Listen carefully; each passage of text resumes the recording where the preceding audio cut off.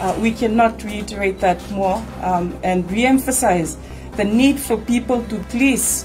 please tie down your homes, uh, stock up on dry food, um, stock up on fresh water,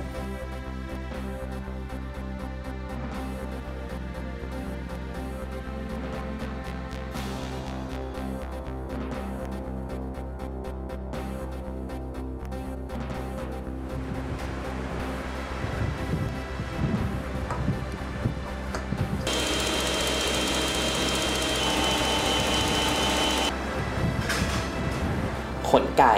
ที่เกิดขึ้นในกระบวนการผลิต